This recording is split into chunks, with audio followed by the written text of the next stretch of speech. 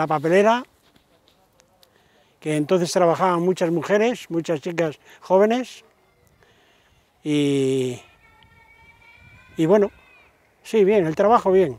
Estábamos a dos relevos, a las seis y a las dos, de noche no trabajábamos, y luego después pasamos para, digo pasamos porque otro y yo pasamos los dos casi juntos, para Solvay. Allí surgieron nuevas fabricaciones, muchas, ¿eh? Entonces se metió gente allí a trabajar y hicimos unos cursos, varios cursos en la fábrica mismo, eh, relacionados con, con, las fabricaciones. Y, y cuando ya empezó aquello a funcionar, pues a trabajar. Cuando salíamos a las dos, pues a las tres había que estar allí en clase. ¿eh? Me acuerdo que, en invierno, en aquellos salones que había buen, buen calorcillo, eh, no, nos dormíamos a veces. Claro, había que haber madrugado, entonces, relacionado con eso, pues daba el sueño. Primero, primero en puestos un poco más de rondier. Rondier es, allí le llaman rondier al que pasa por la instalación cada dos horas y con unas hojas de marcha y apunta presiones, temperaturas, niveles, que también se registran en la sala de control, pero bueno, había que pasar por la instalación. Y después yo estuve haciendo las muestras en el laboratorio. Lo que pasa es que cuando entramos nosotros, que entramos muchos, eh, de construcción había muchísimos. De construcción de, de, de todo.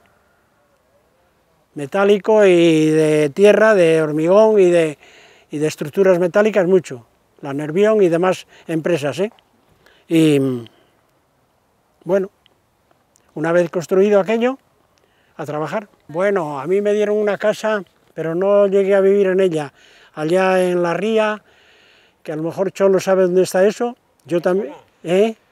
La casona, pero la casona había dos, una que la tiraron aquí a, la curva de la botica y otra todavía más allá, que había oído yo que había sido cárcel, no sé, esas son cosas que yo no llegué a saberlas. El casino ya eh, creo que existía desde hace mucho, ¿eh? Se daban la comida y al día siguiente, si querías comer, elegías el menú para el día siguiente. Bueno, eso no estaba mal. Cuando tenías un hijo, eh, podías llevarlo allí al hospital. Yo sí lo hice. Eh, con este que vive con, con Leo, que entonces era un crío, claro, fíjate los años. Eh, y los llevabas al hospital, te revisaban, no sé lo que revisarían, y te daban un, un, bote de, ¿cómo le llamaba aquello? Un bote que cada 15 días lo llevabas a pesar, que se decía a pesar. De pelargón o algo sería, algo así. Eh,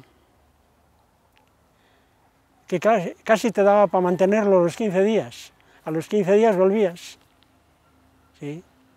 A pesarlo otra vez. Que siempre se decía, voy a pesar al crío, que era algo más que pesarlo. Sí.